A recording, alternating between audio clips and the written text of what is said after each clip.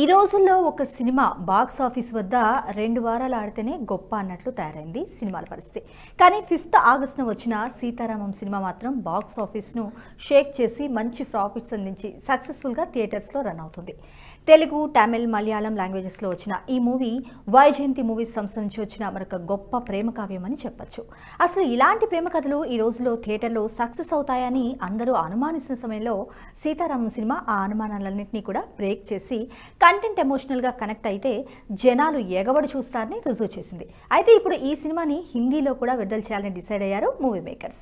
Yes Hindi trailer కూడా భారీగా విడుదల చేశారు. దాదాపు అది కూడా తెలుగు ట్రైలర్ తరహాలోనే భారీగా ఉంది. ట్రిపుల్ ఆర్ సినిమాను హిందీలో విడుదల చేసిన పెన్ స్టూడియోస్ సీతారామం సినిమాని హిందీలో రిలీజ్ హక్కులు కొనుగోలు చేశారు.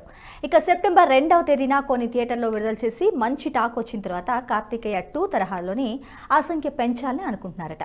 ఒక విధంగా సీతారామం సినిమాకు ఇది బాగా కలిసి వచ్చే అంశమే అని చెప్పొచ్చు. ఇప్పటికే కార్తికేయ సినిమాతో హిందువుల సెంటిమెంట్ బాగా కలిసి రావడంతో బాక్స్ ఆఫీస్ వద్ద మంచి కలెక్షన్స్ అందుకుంటున్నాయి. ఇక ఇప్పుడు సీతారామం సినిమా టైటిల్తోనే ఈ సెంటిమెంట్ బాగా వర్కౌట్ అయ్యే అవకాశం ఉంది. దానికి తోడు ఆర్మీ బ్యాక్టాప్తో దుల్కర్ సల్మాన్ అత్యద్భుతమైన నటనతో ఈ సినిమాలో హైలైట్ అయ్యే అవకాశం ఉంది. ఇక పుష్ప సినిమాతో ఇప్పటికే బాలీవుడ్లో రష్మిక మండనకు కొంచెం క్రేజ్ అయితే భారీగానే పెరిగిందని చెప్పాలి. కాబట్టి అటు ఆ వైపు నుంచి కూడా హిందీలో కొంతమేర కలిసి వచ్చే అవకాశం ఎలా ఎలాగో ఉంది. ఎలాగో హీరోయిన్ మృణాల్ అక్కడ తెలుసు కాబట్టి అది మరొక మేజర్ ప్లస్ పాయింట్ అని చెప్పొచ్చు. ఏది ఏమైనా కూడా సీతారామం టైటిల్తోనే ఈ సినిమా ఇప్పుడున్న వాతావరణంలో హిందీలో మంచి క్రేజ్ అయితే అందుకునే ఛాన్స్ ఉంది. ఈ సినిమా హిందీ ఆడియన్స్కు ఏ మాత్రం కనెక్ట్ అయినా కూడా బాక్స్ ఆఫీస్ వద్ద ఊహించిన రేంజ్లో మ్యాజిక్ క్రియేట్ చేస్తుందని చెప్పొచ్చు.